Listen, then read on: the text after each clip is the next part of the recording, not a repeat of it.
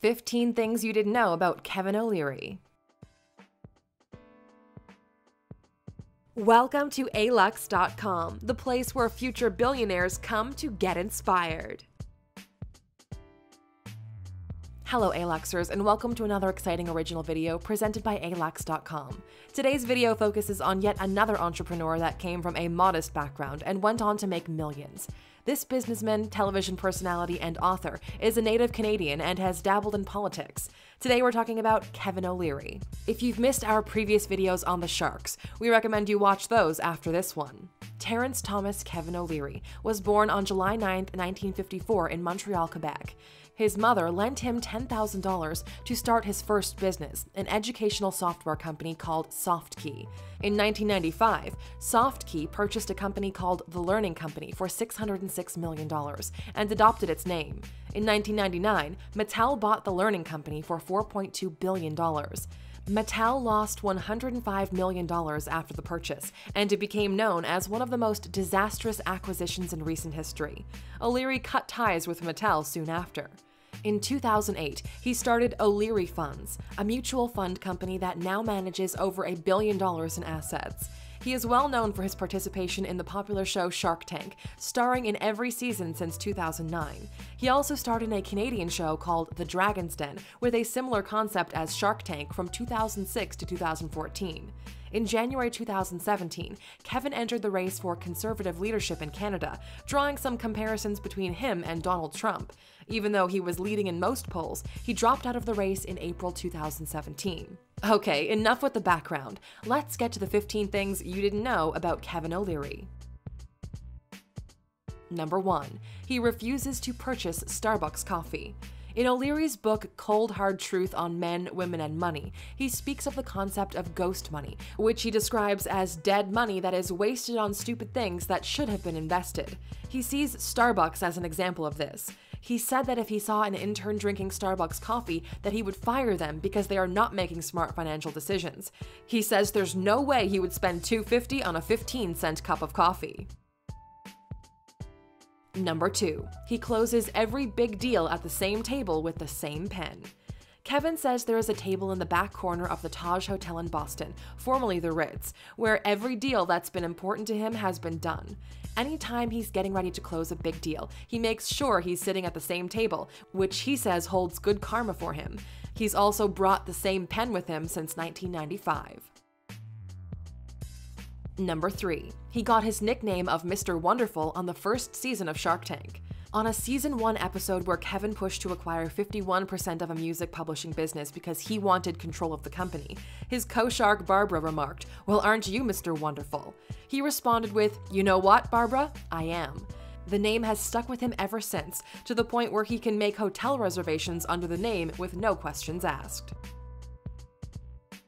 Number 4. He makes 45 cents for every cupcake sold by Wicked Good Cupcakes. One of the best investments Kevin made on Shark Tank was giving Boston based cupcake company Wicked Good Cupcakes $75,000, with $1 of each cupcake going to him until his investment was paid back. The owners paid back the loan in full a mere 74 days later, but Kevin continues to rake in the profits at 45 cents a cupcake. This might seem like a lot, but the Wicked Good Cupcakes sell for over $7 a piece. Number 5. Kevin has one of the most valuable wine collections in the world. Kevin is very passionate about wine. He has his very own line of wine that he sold a record breaking 40,000 cases of in one day on QVC. He says he and a small group of guys have a secret wine cellar in Cambridge, built underground in an undisclosed location. There's millions of dollars worth of wine in that cellar, and they are constantly adding to their collection. Number 6. His favorite place to live is Boston. He may be a native Canadian, but Kevin's favorite place to live is Boston. He lives in a brownstone home on the prominent Marlborough Street, just two blocks away from the Boston Public Garden. The 2,300 square foot condo is a dream come true for Kevin. Ever since he first started out in business, he wanted to live on that street. He purchased the condo in 1999, and although he owns residences in Los Angeles, Switzerland, and in Canada, he says that Boston is his home. Number 7. He claims he's been on every beach on the planet. Kevin has traveled all over the world, and he claims that he has been on every beach on the planet, but he says he finds them boring. His ideal vacation is visiting Beaune, France, where he has no cell phone or internet service. He likes to walk the streets that were built in medieval times and drink from noon until 2 in the morning. Number 8. He never misses a Patriots game. No matter where in the world Kevin is, he always finds a way to watch every Patriots football game. He says it gets complicated at times, but no matter if he's in Europe, Asia, or Cambodia, or if it's 2 a.m. or 4 a.m., he'll be watching the game. Number 9. He had planned on becoming a photographer. Before his stepfather convinced him to go to business school, he had planned on pursuing a career in photography. But throughout his life, he has never abandoned his love of being behind the camera, and he launched his first photo exhibit in 2013 entitled Kevin O'Leary 40 Years of Photography. It included pictures he took in dozens of countries over four decades. The exhibit traveled around Canada, and people were able to purchase his photographs, with proceeds going toward grants that encourage entrepreneurship. Number 10. O'Leary's political campaign was over $200,000 in debt when he dropped out. Kevin received over $1 million in campaign contributions when he decided to run for the Conservative leadership of Canada, with the aim of defeating Prime Minister Justin Trudeau in 2019. He dropped out just a few months later, leaving his campaign with over $200,000 in debt. According to the rules of the Commissioner of Elections Canada, O'Leary is not able to pay the debt himself or loan the campaign money, so he will need to convince individuals to contribute a maximum of $1,550 each to his abandoned campaign until his debts are cleared. If you want to learn more about other politicians with deep pockets, click on the top right hand corner to watch our video of the top 10 richest politicians in the world. Number 11. He and his wife nearly got divorced. Kevin married his wife Linda in 1990 after six years of dating, but in 2011, they separated for two years. Kevin said that they were at the point of splitting up the assets, but couldn't go through with the divorce. They've been happily married ever since they reconciled, and she serves as the VP of marketing for O'Leary Wines.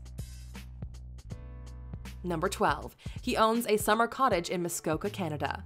Sometimes called the Malibu or the Hamptons of the North, Muskoka is a scenic region in Ontario, Canada. The area has more vacation homes than permanent residents, and it's a popular retreat for the rich and famous, including Tom Hanks, Steven Spielberg, Martin Short, Kurt Russell, and Cindy Crawford. Kevin's cottage is actually a 9,000 square foot house with seven bedrooms, four fireplaces, and a wine cellar carved into native rock, a boathouse with three boat slips, and a second floor sun deck. Number 13. He loves to play guitar. One of Kevin's passions outside of business is music, and he likes to play guitar in particular. At the 2013 American Music Awards, he was seen playing guitar with One Direction guitarist Dan Richards on the red carpet. He has an extensive guitar collection, including one of his most prized possessions, a signed Gibson Les Paul guitar. Kevin said that he met with the legendary guitarist Les Paul, and they had a jam session together, which ended in Kevin receiving the guitar. Number 14. He is not planning on giving his kids any of his money. Kevin has two grown children, a daughter named Savannah and a son named Trevor, but they shouldn't be counting on piggybacking off their father's success. Kevin said that he's made it clear to his children that they need to make their own way in life. He says that if rich parents don't kick their kids out of the house to experience the stresses of the real world, they will fail to become successful adults. Kevin says as soon as his children complete their education, he will no longer financially support them. Number 15. He wears a suit every single day. Every single day, Kevin wakes up and puts on a suit. He prefers either Tom Ford or Prada. He owns roughly 50 suits at a time and says they all have been custom created to fit him perfectly. Now that you've learned some interesting facts about Kevin O'Leary, do you honestly think he would have done a good job as the Prime Minister of Canada? Let us know in the comments. Oh, and here's a bonus fact for those of you still with us. Because of his father's Irish roots, Kevin actually holds dual Canadian and Irish citizenship and travels with an Irish passport. Thank you for spending some time with us, Aluxer. Make sure to subscribe so you never miss a video. If you want more, we handpicked these videos you might enjoy, or head over to alux.com for the best in fine living content on the planet. Be a part of the largest community of luxury enthusiasts in the world and tell your story.